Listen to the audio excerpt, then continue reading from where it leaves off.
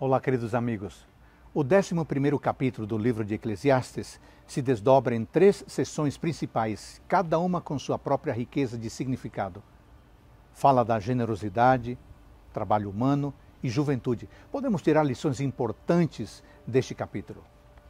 Na primeira sessão, enfatiza-se que o sábio adverte que toda ação que empreendemos traz consigo uma consequência.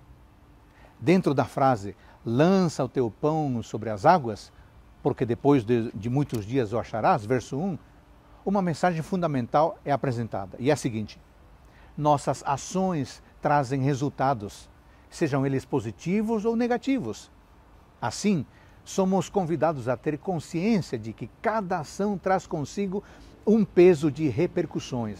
Da mesma forma, somos encorajados a praticar a generosidade ao compartilhar com os outros, estamos construindo uma rede de apoio mútuo que pode funcionar como um refúgio durante os momentos difíceis.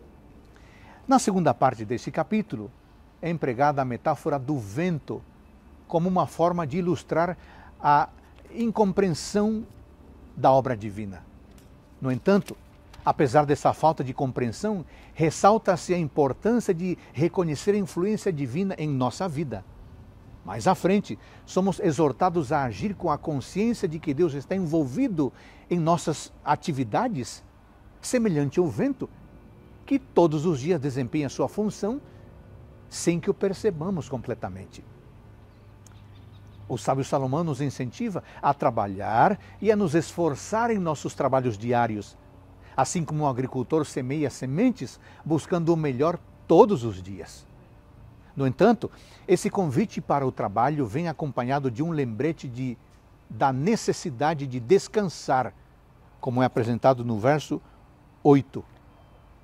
Ambos os aspectos são cruciais e são complementares, cada um em seu momento certo. Essa sábia perspectiva envolve o entendimento de que o equilíbrio entre a ação diligente e o repouso é essencial para uma vida plena. A terceira sessão apresenta uma mensagem de conselhos direcionados para os jovens.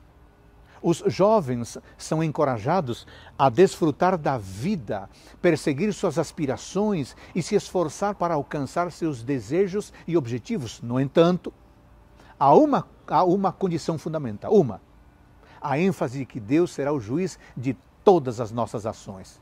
Em outras palavras, Salomão exorta os jovens a sempre terem em mente que suas decisões e atividades serão avaliadas por Deus.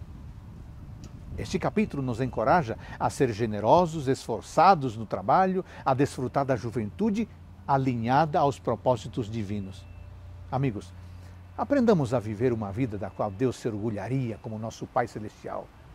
Mas para isso, aceitemos as suas orientações em nossa vida Somente dessa forma viveremos uma vida com pleno significado.